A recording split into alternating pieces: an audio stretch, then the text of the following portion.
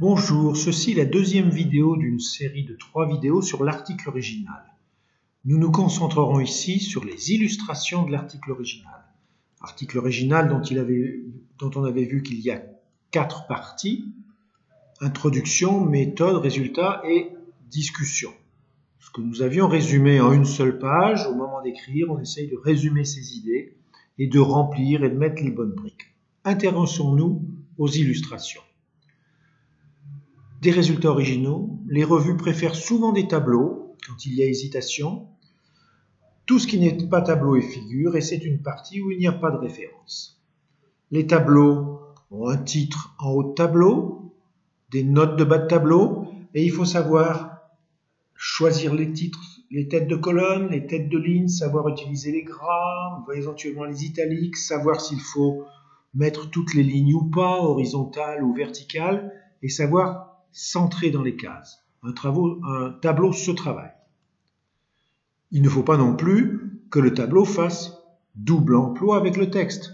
Soit vous mettez sur cette diapositive le tableau score de sévérité de la dépression chez 164 malades traités par vert, soit vous mettez les trois lignes parmi les 164 malades. C'est la même information, le texte n'est pas là pour expliquer comment lire les tableaux.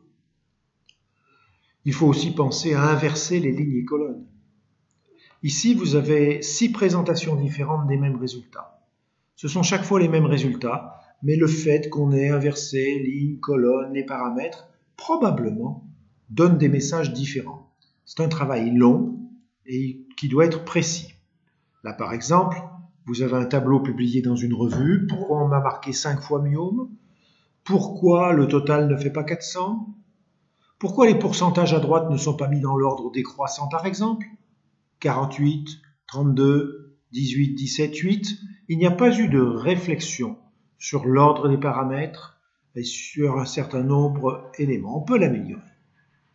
Regardez ce tableau très large avec des largeurs qu'on aurait pu éviter. Regardez ces moyennes de semaines avec 25,25, deux décimales après la, virgule, un écart type qui aurait dû être mis plus moins à côté. On ne fait pas ce genre de choses verticales. Et un P 0,9646 ou 0,8696 à 4 décimales alors qu'il ne signifie rien. Pour les figures, on dit d'habitude que tout ce qui n'est pas tableau est figure. La figure, on n'emploie pas des termes comme graphe, schéma ou d'autres choses comme ça. Et les revues les aiment souvent moins parce qu'il y a un certain nombre de biais. Par exemple, ici, vous avez les mêmes données représentées cinq fois différentes. Selon que j'ai changé les axes d'abscisse ou d'ordonnées en carré ou autre, je donne le message qui me plaît, mais au départ, j'ai les mêmes données sorties de l'ordinateur. Regardez ici en haut et en bas vous avez la même information, sauf qu'en haut, vous avez de l'encre non informative et on complique la lecture, alors qu'en dessous, il y a exactement les mêmes données que dans le graphe d'au-dessus. Les revues n'aiment pas le 3D qui complique la lecture et qui parfois est moins clair. Donc faites des schémas clairs. Regardez là, vous avez aussi quatre représentations des mêmes paramètres au cours du temps.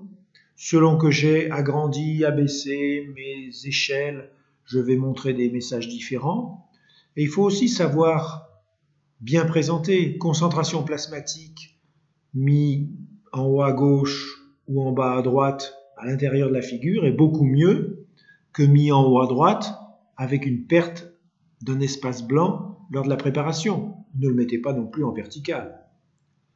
Les images, il y en a bon. Là, vous avez un bel exemple d'image pour lesquelles des flèches ont indiqué ce qu'il fallait voir. Et ça, c'est de la bonne pratique. Avec des images de qualité, ne publiez pas des images où on ne comprend pas bien tout ce qu'il faut. Et il faut, c'est bien ici, une longue, longue, longue légende, de façon à ce que l'image soit compréhensible tout à fait en dehors du texte. Je vous